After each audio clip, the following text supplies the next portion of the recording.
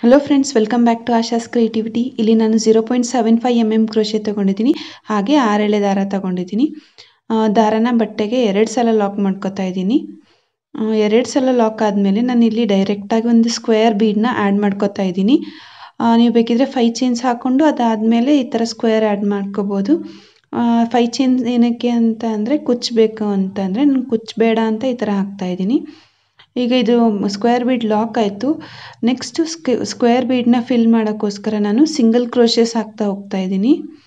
ಆ square bead full ಆಗೋವರೆಗೂ single crochets ಹಾಕ್ತಾ ಹೋಗಿ, ಅಂದರೆ ಎರಡು ಎರಡು ಪ್ಲೇಸು ಫಿಲ್ ಆಗಬೇಕು. ನೋಡಿ, ಈ ಥರ ಸೇಮ್ ಸಿಂಗಲ್ ಕ್ರೋಶೆ ಅಂತಲೂ ಹೇಳ್ತೀವಿ ಲಾಕ್ ಅಂತಲೂ ಹೇಳ್ತೀವಿ. ಇದೇ ಥರ ಫುಲ್ ಎರಡು ಕಡೆ ಫಿಲ್ ಆಗೋ ಅಷ್ಟು ಹಾಕಬೇಕಾಗತ್ತೆ.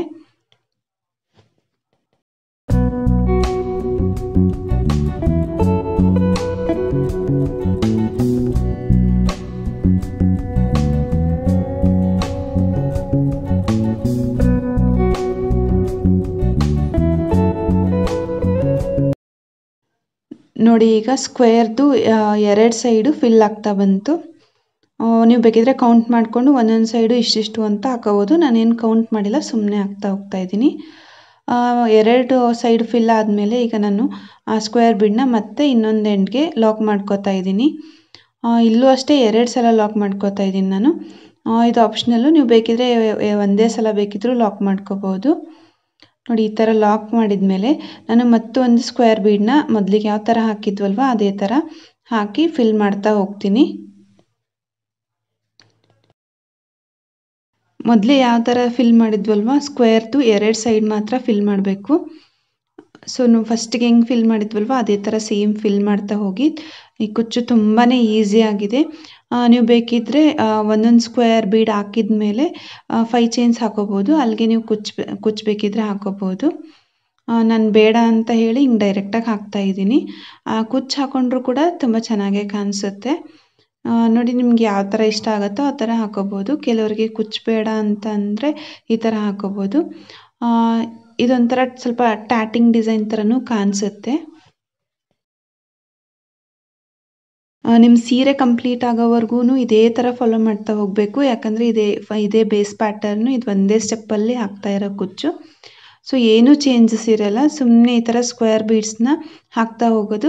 ತುಂಬ ಬೇಗನೂ ಕಂಪ್ಲೀಟ್ ಮಾಡ್ಬೋದು ನೀವು ಈ ಥರ ಕುಚ್ಚು ಹಾಕಿದರೆ. ಏನು ಒನ್ ಅವರ್ ಅಥವಾ ಟೂ ಅವರಲ್ಲೇ ಮುಗಿಸ್ಬಿಡ್ಬೋದು. ಬಟ್ ಸ್ಕ್ವೇರ್ ಬೀಡ್ ಹೇಗೆ ಹಾಕಬೇಕು ಅಂತ ಸ್ವಲ್ಪ ಪ್ರಾಕ್ಟೀಸ್ ಮಾಡಬೇಕು. ಯಾಕಂದರೆ ಸ್ಕ್ವೇರ್ ಬೀಡ್ ಸ್ವಲ್ಪ ಜಾರ್ತಾ ಇರುತ್ತೆ. ಸೊ ಪ್ರಾಕ್ಟೀಸ್ ಮಾಡಿದರೆ ನೀವು ಈಸಿಯಾಗಿ ಹಾಕ್ಬೋದು. ನಾನೀಗ ಮೂರನೇ ಸ್ಕ್ವೇರ್ ಬೀಡ್ ಹಾಕೋತಾ ಇದ್ದೀನಿ. ಸೇಮ್ ಎರಡು ಯಾವ ಥರ ಹಾಕಿದ್ವಲ್ವ, ಇದನ್ನು ಕೂಡ ಅದೇ ಥರನೇ ಹಾಕೋದು.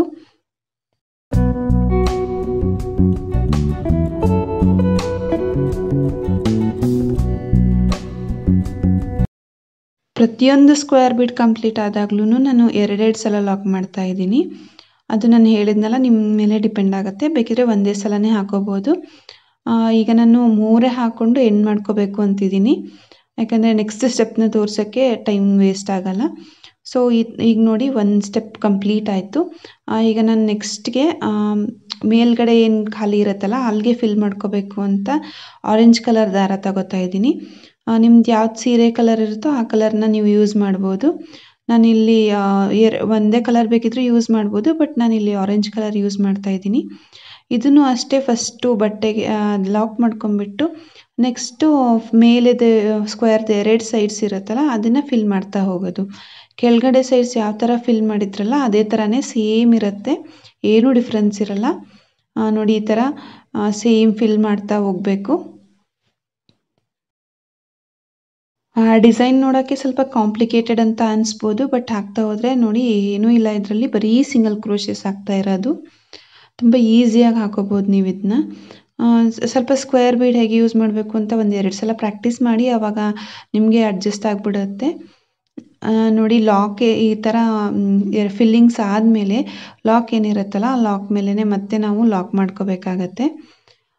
ಸೇಮ್ ಲಾಕ್ ಮೇಲೆ ಲಾಕ್ ಮಾಡೋದು, ಆಮೇಲೆ ಗ್ಯಾಪ್ ಇರೋ ಎರಡು ಸೈಡ್ನ ಫಿಲ್ ಮಾಡ್ತಾ ಹೋಗೋದು. ಇದೇ ಥರ ಕಂಟಿನ್ಯೂ ಮಾಡಿ, ಇಷ್ಟೇ ಈ ಡಿಸೈನ್ ಇರೋದು. ನೋಡಿ ಈಗ ನಾನು ಲಾಕ್ ಮಾಡ್ಕೊಳ್ತಾ ಇದ್ದೀನಿ. ನೋಡಿ, ಇದೇ ಥರ ನೆಕ್ಸ್ಟು ಎಲ್ಲ ಫಿಲ್ ಮಾಡ್ತಾ ಹೋಗಿ ಸೇಮ್ ಇರುತ್ತೆ. ಏನು ಡಿಫಿಕಲ್ಟ್ ಅಂತ ಏನಿಲ್ಲ ಈ ಕುಚ್ಚು. ನೋಡಿ, ಈ ಥರನೇ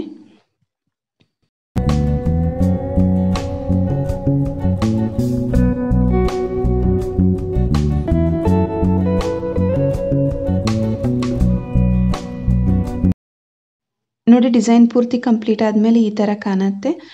ಈ ಡಿಸೈನ್ ನಿಮಗೆಲ್ಲ ಇಷ್ಟ ಆಗಿದೆ ಅಂತ ಅನ್ಕೋತೀನಿ. ಇಷ್ಟ ಆಗಿದ್ರೆ ದಯವಿಟ್ಟು ಲೈಕ್ ಮಾಡಿ, ಕಮೆಂಟ್ ಮಾಡಿ, ಹಾಗೆ ನಿಮ್ಮ ಫ್ರೆಂಡ್ಸ್ ಜೊತೆ ಶೇರ್ ಮಾಡಿ. Thank you.